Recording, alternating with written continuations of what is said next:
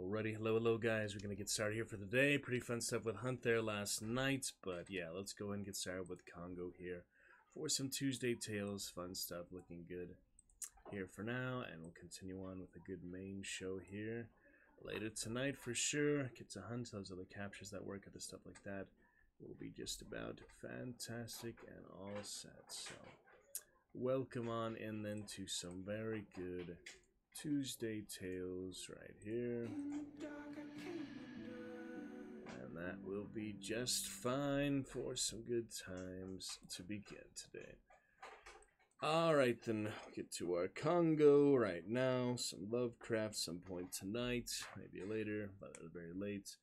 Get to some Hunt Showdown lore, continue for Meathead lore. And then we will see Butcher One other stuff and Phasmophobia tonight. We'll some Dead by Daylight in between, some Sunless Sea. Hope to be able to get to most of those, but uh, definitely do our daily hunt stuff. Enjoyed from other stuff last night, which was pretty good. And we will come back for good clean main show here tonight. But I just wanted to get started here pretty early and look forward to that. So let us go ahead and begin with some Congo. And we'll see what else here very soon. But since we did not get to it yesterday, I wanted to play a bit here. The beginning, there's Riptide at me last night. I'll play with him in a bit. Should be fun. We'll see other things very soon here.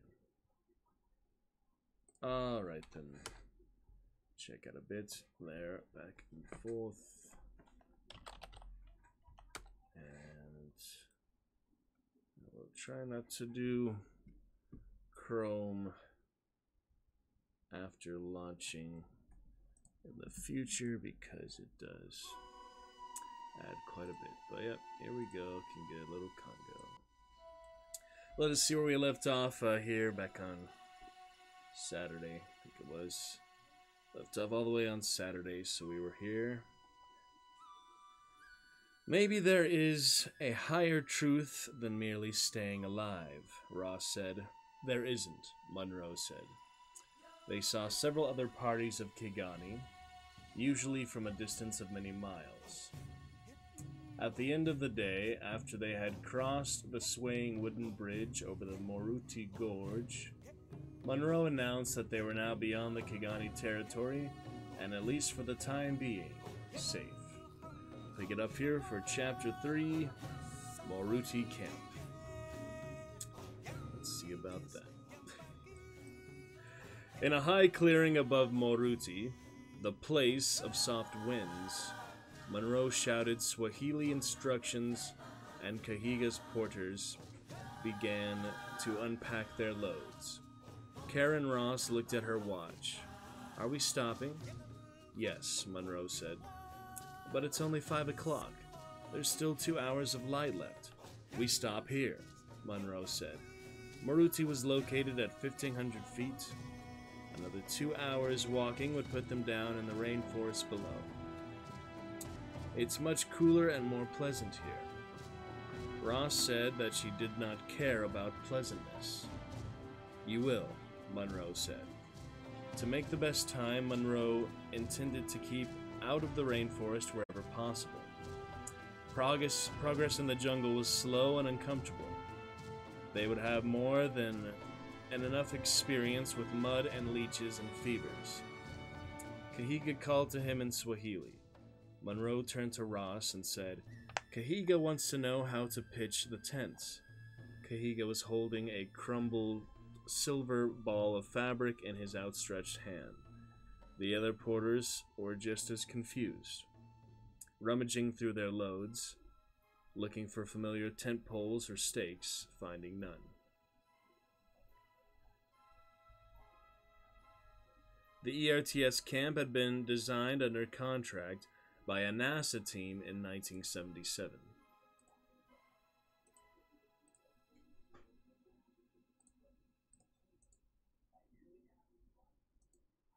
Based on the recognition that wilderness expeditions equipment was fundamentally unchanged since the 18th century.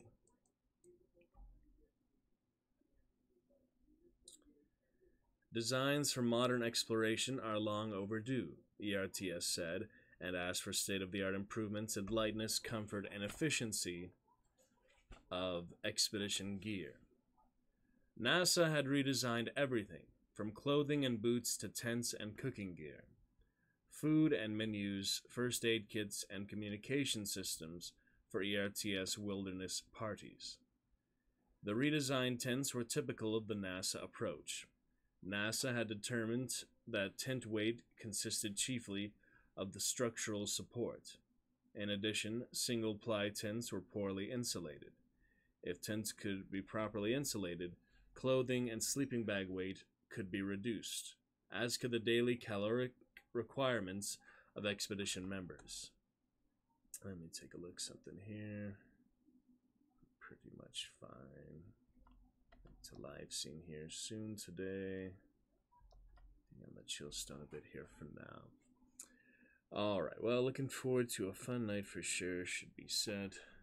Give sub leaderboard still clear. We have a lovely monthly bit sheer leaderboard though, thanks to lovely hype train a week ago from Sunday. So very excited with that.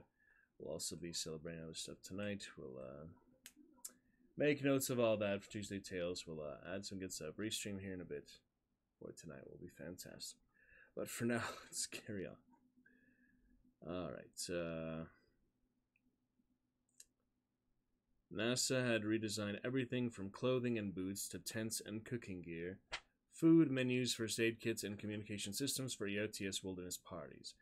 The redesigned tents were typical of the NASA approach. NASA determined that tent weight consisted chiefly of the structural supports. In addition, single ply tents were poorly insulated. If tents could be properly insulated, clothing and sleeping bag weight could be reduced, as could the daily caloric requirements of expedition members. Since air was an excellent insulator, the obvious solution was an unsupported pneumatic tent. NASA designed one that weighed 6 ounces. Using a little hissing foot pump, Ross inflated the first tent. It was made from double layer 20 milliliter silvered mylar and looked like a gleaming ribbed Quonset hut. The porters clapped their hands with delight. Munro shook his head. Amused, Kahiga produced a small silver unit the size of a shoebox. And this, Doctor? What is this? We don't need that tonight. That's an air conditioner, Ross said. Never go anywhere without one, Munro said, still amused. Ross glared at him. Studies show, she said, that the single greatest factor limiting work efficiency is ambient temperature with sleep deprivation as the second factor. really? Munro laughed and looked to Elliot, but Elliot was studiously examining the view of the rainforest in the evening sun. Amy came up and tugged at his sleeve. Woman and nose hair man fight, she sighed. Amy had liked Munro from the beginning, and she and the feeling was mutual. Instead of patting her on the head and treating her like a child, people did, as most people did, Munro instinctively treated her like a female. Then, too, he had been around enough gorillas to have a feeling for their behavior.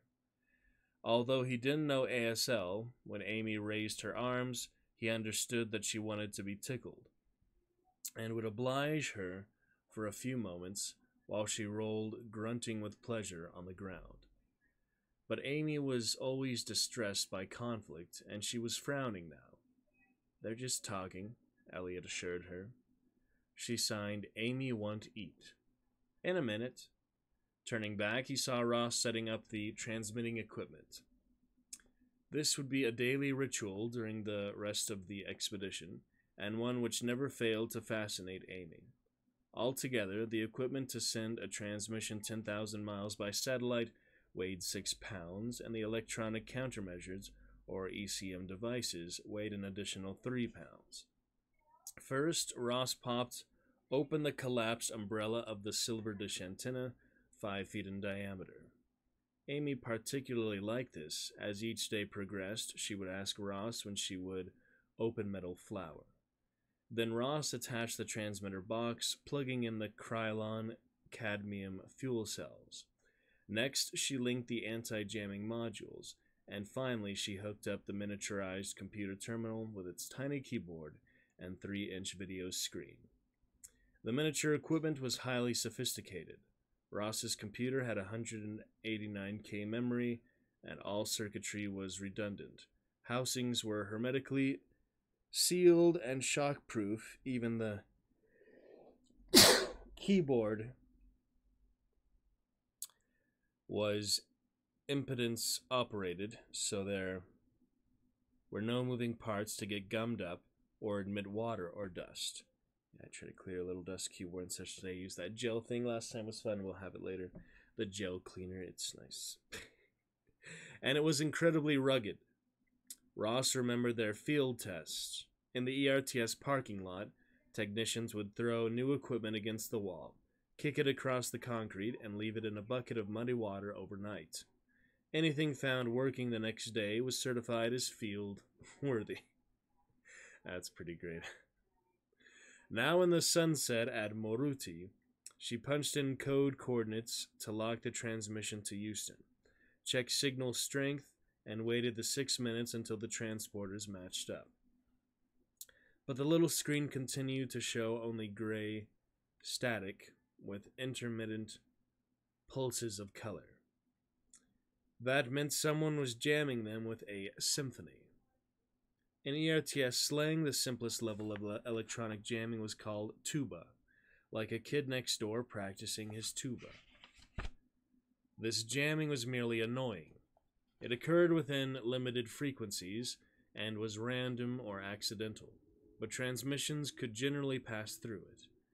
At the next level was string quartet, where multiple frequencies were jammed in an orderly fashion Next was Big Band, where the electronic music covered a wider frequency range.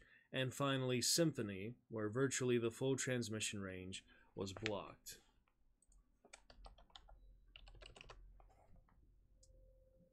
Ross was now getting hit by a symphony. To break through demanded coordination with Houston, which she was unable to arrange. But ERTS had several prearranged routines. She tried them one after another and finally broke the jamming with a technique called interstitial coding. Interstitial coding utilized the fact that even dense music had periods of silence. Or interstices. Yeah. Interstices. Interstices. Lasting microseconds. It was possible to monitor the jamming signals, identify regular regularities in the interstices, interstices, and then transmit it in bursts during the silences. Ross was gratified to see the little screen glow in a multicolored image, a map of their position in the Congo. She punched in the field position clock and a light blinked on the screen. Words appeared in short line, the compressed language device for small screen imagery. Field time position check. Please confirm local time 1804 H61779. She confirmed that it was indeed just after 6 p.m. at their location. Immediately, overlaid lines produced a scrambled pattern in their field time position, was measured against the computer simulation run in Houston before their departure. Ross was prepared for bad news. According to her mental calculations, they had fallen some 70 odd hours behind their projected timeline and some 20 odd hours behind the consortium. The original plan had called for them to jump onto the slopes of Mukenko at 2 p.m. On June 17th, arriving at Zinj approximately 36 hours later, around midday of June 19th. This would have put them on site nearly two days before the consortium. However, the SAM attack forced them to jump 80 miles south of their intended drop zone. The jungle terrain before them was varied, and they could expect to pick up time ra- rafting on rivers, but it would still take a minimum of three days to go 80 miles. That meant that they could no longer expect to beat the consortium to the site. Instead of arriving 48 hours ahead, they would be lucky if they arrived only 24 hours too late. To her surprise, the screen blinked field time position check 0904 H. Well Dune. They were only nine hours off their simulation timeline. What does that mean? Munro asked, looking at the screen. There was only one possible conclusion. Something has slowed the consortium, Ross said. On the screen, they read Euro slash Nippon Consortium legal trouble. Goma Airport is there. Their aircraft found radioactive. Tough luck for them. Travis has been working back in Houston, Ross said. She could imagine what it must have cost ERTS to put in the fix at the rural airport in Goma. But it means we can still do it if we can make up the nine hours. We can do it, Munro said. In the light of the setting equatorial sun, Moruti Camp gleamed like a cluster of dazzling jewels. A silver dish antenna and five silver domed tents, all reflecting the fiery sun. Peter Elliot sat on the hilltop with Amy and stared at the rainforest spread out below them. As night fell, the first hazy strands of mist appeared, and as the darkness deepened and water vapor condensed in the cooling air, the forest became shrouded in dense, darkening fog. And that will do it for do it for day five Moruti and chapter three uh, Moruti Camp. It is on to day six, Liko. We shall get to tomorrow, most likely. Day six, Liko, June 18th, 1979, Chapter 1, Rainforest. Alright, well, we'll look forward to that. Maybe tomorrow or such. See if we have some time for some hunt captures from the other day here.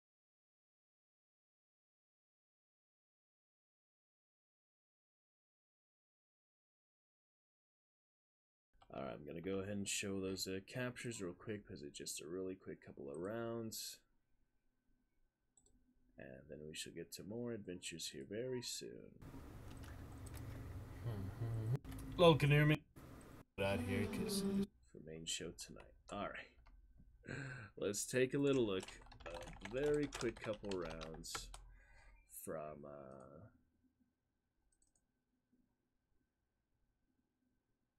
March 13th. So that was yeah. Back on Sunday afternoon before we streamed it a bit. a This was before the fact. So we try to go in a good uh Never. Let's try this my way. Phantom here, yeah. Sunday after that. Sass. Had Phantom, had half decent loadout. We go all the way to Fort here, running up What? right on the side. Try to get these guys. I don't see. Another. Oh yeah, on the, the barricade and such. There we go. Yep, it's in the trenches. What? The Mosin headsman, Was yeah, that's what with that, call it. I yeah, shoot looking that one, shoot the other. the weird part. Distance. The weird part is see I only gets saw the cane shot by running up the stairs and jumping over, and I didn't see anybody following him. So I'm like, Wow. wow, it's a solo. The Mosin head. Put off that one. That was all. It was back in the trench. Yeah, so he gets Yeah, just swooping shot out as well, both shots. Very annoying. But then we had one more after that. And we did a little bit of stuff. Oh. The meathead of the things. The hellhounds. Side. And we do push in for here. high. That's a Trap. The bear trap. I come back, get the one thing. Wow. One more. He's dead. That's the only thing really got in this particular little session. Just a little Wow. here. One more. He's dead. melee, also good melee PvP stuff. here. And might regular 100 kills for today's challenges. So looking forward Wow. to that. That was just the one there. He's. Pretty funny. Jumped down there from here. Did not see the bear trap on the door right in front of me. Step on that. Shit, another bear trap. Another one right behind me. Missed all the shots you could possibly miss there. Can't believe I missed. Really. Shit, another bear So trap. that could have gone the movement is hard sometimes. Can't believe I missed so much. Jumped down, there's another bear trap. So That was nasty. That's the one that got same one. bleed. Easy definition. And that is that. all my Scottfield shots. All right. Uh, all right. good shot. There we go. Webcam. So yeah, go ahead and uh, delete that. We don't need that anymore. I had that one from Candy before that too.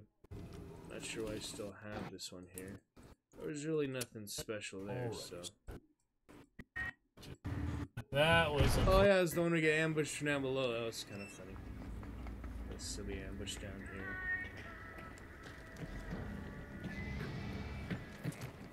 So, so they jumped down, they went in there to see that the gate was open. They somehow silently opened the gate. Hunters on the bottom. They Uh, open the gate silently. there, and I had a funny kill there uh, yesterday too.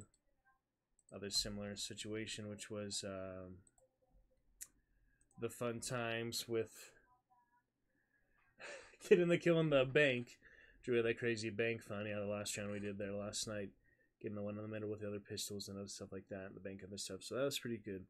But anyways, hello there, Elsa. We're about to finish here for right now. Come back to main show tonight. Well, thank you for starting off our chat for the week. In any case, good to see you, Elsa. How goes uh, Norway today? Glad you could make it. Pop in, say hello. We're actually just about to go to intermission and come back for main show much more tonight. We just had a quick little 20 minute reading here of Congo and showed us those other little captures before we get to hunt. Sunless Sea, uh, maybe Darkest Dungeon, definitely Phasma, probably Dead by Daylight, and some Lovecraft tales here tonight, in addition to lore of Hunt. So, thank you for popping in, starting the chat for the week. Also, lovely to see you there in the chat. We will be back to it. Get your dragon spawn, all the rest here after intermission. So, thanks for stopping by. Back to it tonight. Just a couple hours. Good to see you and catch you soon. Thanks for coming by, Elsa. Appreciate it and see you in a bit. Good to see you. Gary and Fred. Talk to you soon. We shall be back very shortly. Sorry uh, I made it the very there, but we'll be back tonight. Catch you soon. Will be fantastic. All right. See you then. Sorry about that. Thanks for coming by. See you tonight. Thanks, Elsa, for stopping by. Good to see you. Gary and Fred. Talk to you soon. We shall be back very shortly. Sorry All right. Made it the very there, but we'll be back tonight. Catch you soon. Will be fantastic. All right. See you then. Sorry about that. Thanks for coming by. See you tonight. Thanks, Elsa, for stopping by. Good to see you. Gary and Fred. Talk to you soon. We shall be back very shortly. All right. Made it at the very end there, but we'll be back tonight. Catch you soon.